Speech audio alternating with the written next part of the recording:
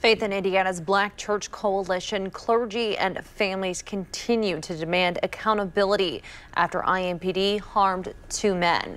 WRTV's Rachel Wilkerson has been following both of these cases closely. She's in studio with us tonight. And Rachel, both of these families want the officers involved to be charged. They do, Nicole. And today the faith leaders announced they're calling on the Federal Department of Justice to come in and investigate. We're sick and tired of being sick and, to matter of fact, we're damn tired of what's happening in our community. Flowers, pictures, and a sign saying we will not forget are now placed in front of IMPD's North District Station. We are standing and we are demanding justice from the mayor of the city of Indianapolis, from the chief of police, and from the prosecutor. Justice for Herman Whitfield III. On April 25, 2022, his parents called 911 requesting an ambulance because their son was having a mental health crisis.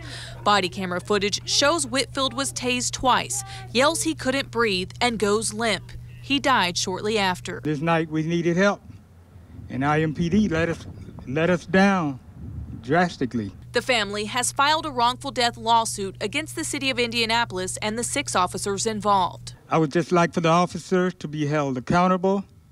I would like them to be fired. Faith leaders are also demanding justice for Anthony Maclin.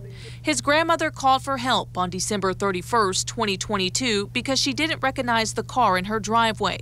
IMPD says officers arrived and found Maclin sleeping inside with the visible gun. Three minutes later, officers knocked on the passenger window to wake Anthony up.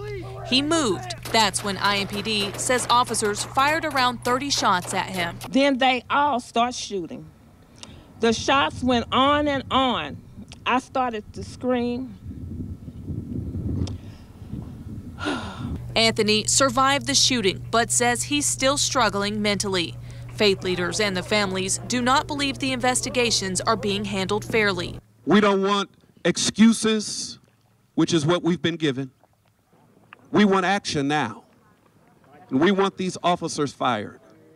This is the first step to uh, our community feeling safe from the individuals who were, who were sworn in to serve and protect. No officers have been charged in either case. IMPD says it cannot comment during pending litigation. The mayor's office says it sends its condolences to the families, but it also cannot comment at this time.